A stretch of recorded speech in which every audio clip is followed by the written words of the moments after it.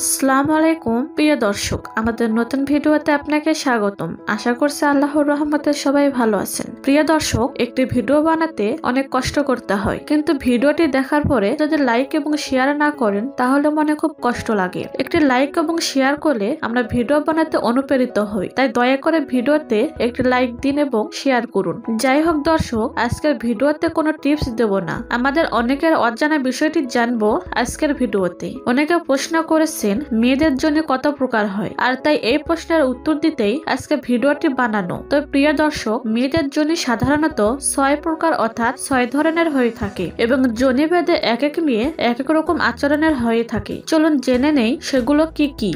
মেয়েদের জনি সাধারণত ছয় প্রকার। ড্রাই অর্থাৎ শুষ্ক জনি। এটি এমন এক ধরনের জনি যা সবসময় ড্রাই থাকে। এটি সহজে ব্যবহার করা যায় না। মানে হলো, যখন আপনি এমন টাইপের জনিতে যৌনসঙ্গম করতে চাইবেন, তখন আপনাকে অবশ্যই লুব্রিক্যান্ট ব্যবহার করতে হবে। লুব্রিক্যান্ট ছাড়া এটাতে যৌনসঙ্গম করাটা অনেক কষ্টের হবে। আর আপনি যদি নারীকে উত্তেজিত করে তুলতে পারেন, তাহলে তার জনি দিয়ে পিচ্ছিল পদার্থ বের হবে এবং যৌন মিলন সহজ হবে। টাইট বা আটো সাটো জনি। টাইট জনি বা কোমরের জন্য বলতে পারেন। সাধারণত অনেকবার যৌনসঙ্গম করার পরেও এটি বেশ টাইট থাকে। এরকম জনিতে যৌনসঙ্গম করে পুরুষেরা অনেক সুখ অনুভব করেন। সব পুরুষই এমন জনির মেয়েকে পছন্দ করেন এবং এসব মেয়েরা স্বামীকে অনেক তৃপ্তি দিতে পারেন। ঠোঁট আকৃতির জনি। লিপস টাইপের জনি বা ঠোঁটের আকৃতির জনি দেখতে অনেকটা সুন্দর হয়। বলতে গেলে এই টাইপের জনির মেয়েরা অনেক সেক্সি হয় এবং চিকন টাইপের হয়। তারা খুব দূরত্ব উত্তেজিত হয়, কিন্তু তাদের অর্গজম হতে সময় লাগে। তবে এরা পুরুষকে মানুষকে সুখের সর্বোচ্চ সীমানায় নিয়ে যায়।